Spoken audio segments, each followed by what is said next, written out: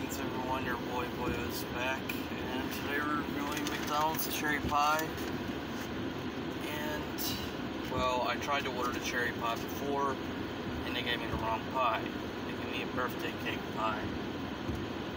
So McDonald's, I swear, if you fuck up my order again, you're getting a zero. Understood? Alright. Let's open this.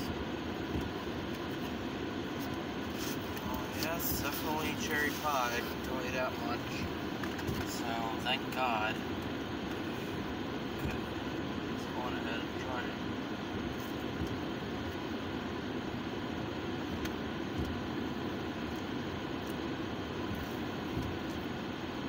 The icing on the inside of the pie is very reminiscent to the icing that goes on um, Strudels, which, by the way, are far better than Pop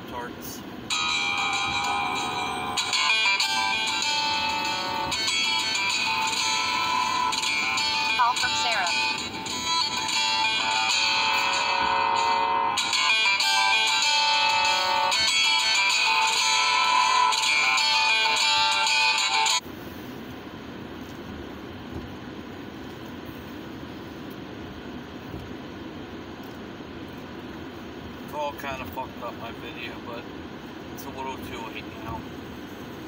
So I'm just gonna go ahead and upload this anyway. Okay, so, um, I'm really loving the icing. The cherry is really hot. I don't really think much of the cherry flavor. It is good, but I really think I like, um, the icing on the inside better, but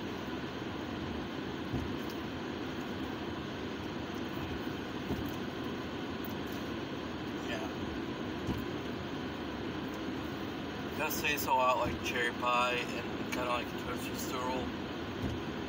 And I really do like it. I think I'll give this a 3.4 out of 5. It's gonna do it for today's video. I appreciate all of you who are watching. I'll see you guys next time on Boy With Food.